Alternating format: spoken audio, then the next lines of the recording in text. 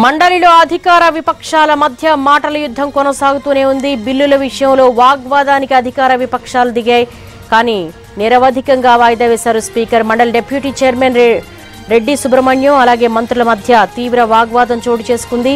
సంప్రదాయాలు గౌరవంపై మాట్లాడాలంటే చాలా ఉన్నాయంటూ రెడ్డి సుబ్రహ్మణ్యం వ్యాఖ్యానించారు. అలాగే దీనికి సంబంధించి లేటెస్ట్ అప్డేట్స్ అసెంబ్లీ నుంచి మా ప్రతినిధి పిఎంఆర్ చంద్రశేఖర్ రెడ్డి తెలుసుకుందాం. చంద్రశేఖర్ సభ నిరవధికంగా వాయిదా పడినట్టుంది. అప్డేట్స్ ఏంటి?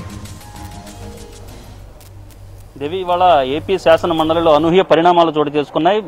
సిఆర్డీఏ బిల్లు కావచ్చు అలాగే రాజ వికేంద్రీకరణ వ్యవహారానికి సంబంధించిన బిల్లుల మీద ముందుగా ప్రస్తావన తీసుకురావడంతో పాటుగా ఈ అంశానికి సంబంధించి ముందుగా చర్చించిన తర్వాత మిగతా బిల్లులు అలాగే అప్రోప్రియేషన్ బిల్లుకు సంబంధించిన అంశాన్ని చివరగా చర్చించాలన్న విషయం దగ్గర నుంచి మొత్తం ఈ అధికార ప్రతిపక్ష పార్టీల మధ్య శా- శాసన మండలిలో వాగ్వివాదం చోటు చేసుకుంది. సో ఈ నేపథ్యంలో అనేక సందర్భాల్లో అటు తెలుగుదేశం పార్టీకి సంబంధించిన ఎమ్మెల్సీలు మరొకవైపు అధికార పార్టీకి సంబంధించిన ప్రభుత్వానికి సంబంధించిన మంత్రులు కావచ్చు అధికార పార్టీకి సంబంధించిన ఎమ్మెల్సీలు కావచ్చు పెద్ద ఎత్తున వాగ్యుద్ధం వాగ్వాదం నడుచుకున్న పరిస్థితి కనిపిస్తుంది. సో ఈ నేపథ్యంలో వివిధ సందర్భాల్లో రూల్స్ని కోట్ చేసుకోవడంతో పాటుగా మొత్తం మీద సాంప్రదాయాలు గతంలో ఎటువంటి సాంప్రదాయాలను వ్యవహరించారు ఎటువంటి సాంప్రదాయాలను అనుసరించారన్న అంశానికి సంబంధించి కూడా పెద్ద ఎత్తున చర్చ జరిగింది. ఈ నేపథ్యంలో బుగ్గన వర్సెస్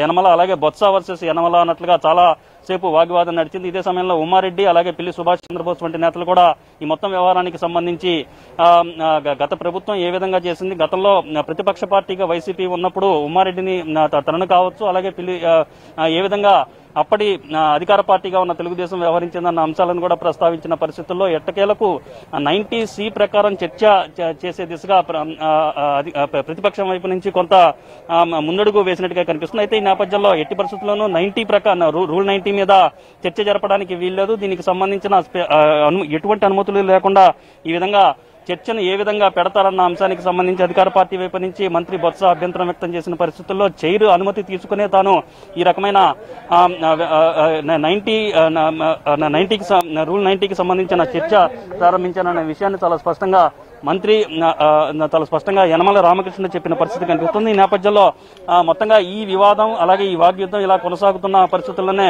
మండలి డిప్యూటీ చైర్మన్ రెడ్డి సుబ్రహ్మణ్యం స- సభను నిరవధికంగా వాయిదా వేసి వెళ్ళిపోయిన పరిస్థితి కనిపిస్తుంది. సో ఓవరాల్గా ఇది అనూహ్య పరిణామంగా కనిపిస్తుంది. నైన్టీ ప్రభుత్వం చెప్పినట్టు రూల్ నైన్టీ ప్రకారం ఎక్కడా కూడా ఇప్పటి వరకు ఎటువంటి చర్చ జరగలేదు. దానికి సంబంధించిన ఓటింగ్ ప్రక్రియ జరపాలని చెప్పి టీడీపీ కోరింది. దానికి సంబంధించిన ప్రక్రియ ముందడుగు పడలేదు. మరొకవైపు సిఆర్డీఏ బిల్లులకు సంబంధించిన అలాగే వికేంద్రీకరణకు సంబంధించిన బిల్లుల అంశానికి సంబంధించి అయితే ఆమోదించడం లేకపోతే తిరస్కరించడం వంటి ప్రక్రియ శాసన మండలిలో పూర్తి చేయాలని ప్రభుత్వం భావించిన నేపథ్యంలో ఈ అంశానికి సంబంధించి కూడా ఈ అంశానికి సంబంధించి కూడా ప్రభుత్వం భావించింది. ఈ మొత్తం వ్యవహారం మీద ఎటు తేలకుండానే శాసన మండలిని డిప్యూటీ చైర్మన్ చైర్లో ఉన్న డిప్యూటీ చైర్మన్ రెడ్డి సుబ్రహ్మణ్యం వాయిదా వేసుకుని వెళ్ళిన పరిస్థితి కనిపిస్తోంది.